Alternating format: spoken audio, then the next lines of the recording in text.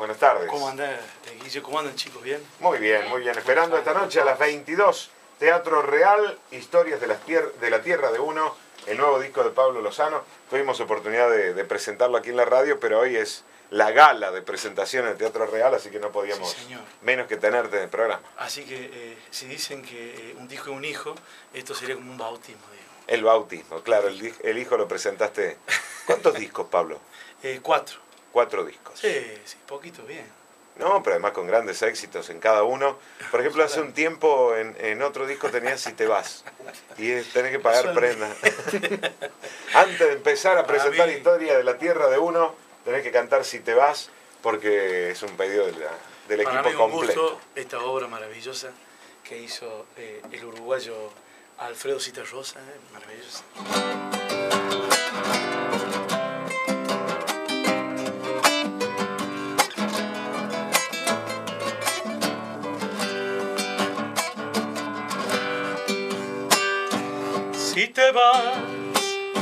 Te irás solo una vez. Para mí habrás muerto, yo te pido que me lo hagas saber. Quiero estar despierto, porque si te vas, yo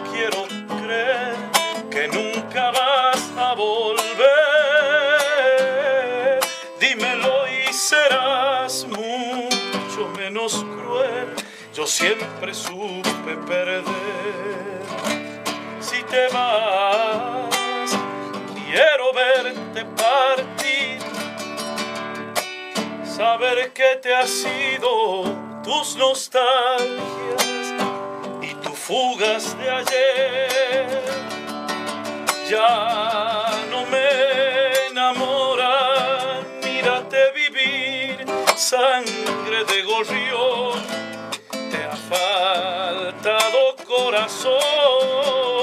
si bien puedo ser el que te ayude a partir. Y no será por eso que estemos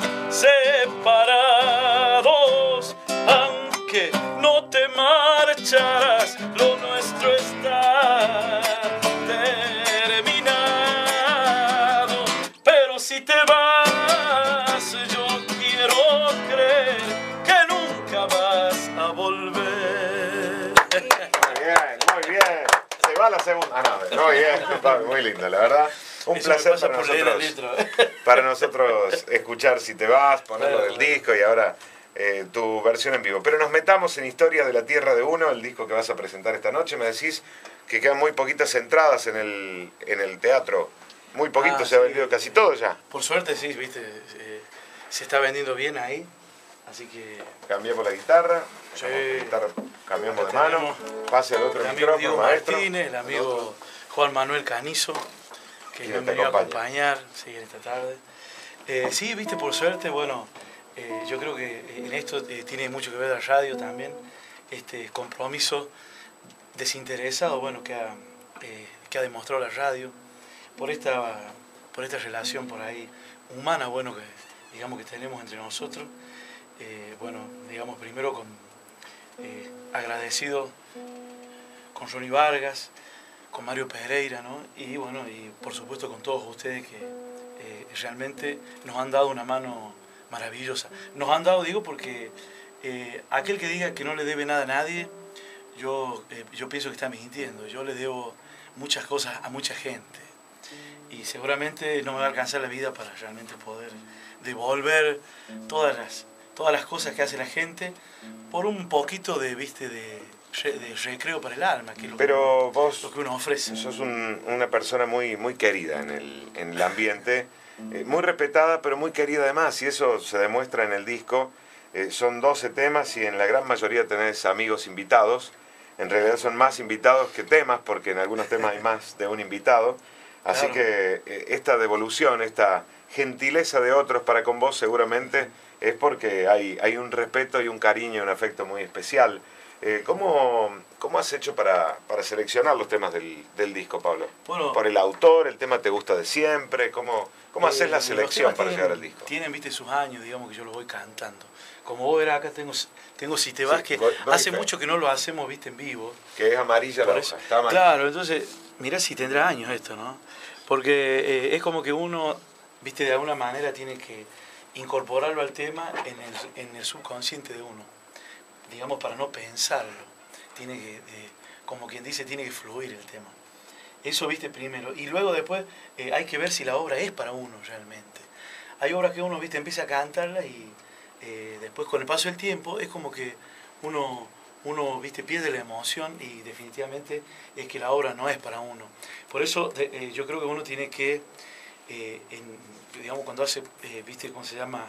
Cualquier obra artística, yo creo que uno tiene que especular lo menos posible es decir, que tiene que trabajar más eh, la intuición y el corazón que la cabeza, ¿no? Porque la cabeza, por lo general, se confunde y te miente, ¿viste?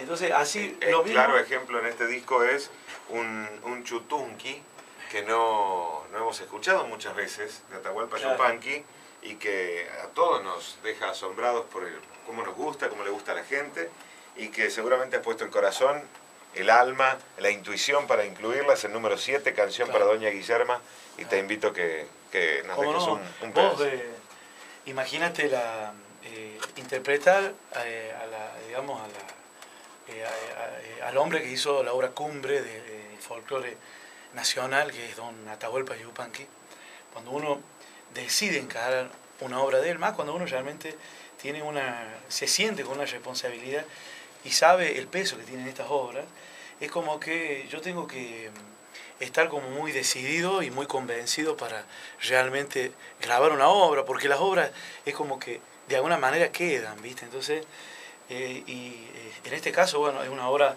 maravillosa que Donata le hace a doña, a doña Guillermo Martínez, que, fue una habitante del Cerro Colorado, uno de esos tantos habitantes que definitivamente lo han embrujado a Donata y lo han hecho que se quede ahí a vivir. Esa gente definitivamente tenía algo, tenía una fuerza que él de alguna manera intenta transcribir a través de las canciones. Esta se llama Canción para Doña Guillermo.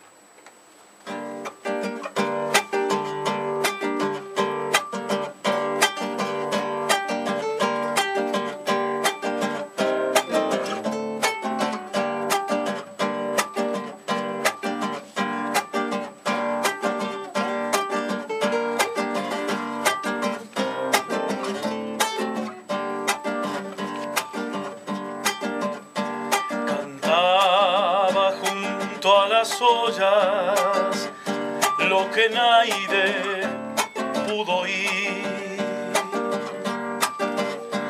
Cantaba junto a las ollas lo que nadie pudo oír. El monte da sus secretos a quien hierve su raíz da sus secretos a quien hierve su raíz.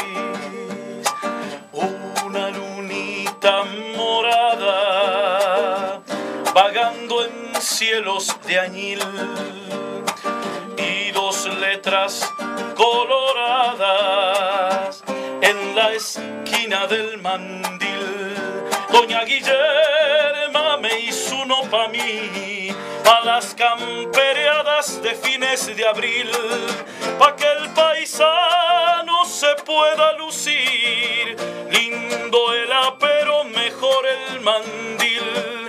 Fue doña Guillerma que lo hizo pa' mí, fue doña Guillerma que lo hizo pa' mí, fue doña Guillerma que lo hizo pa' mí.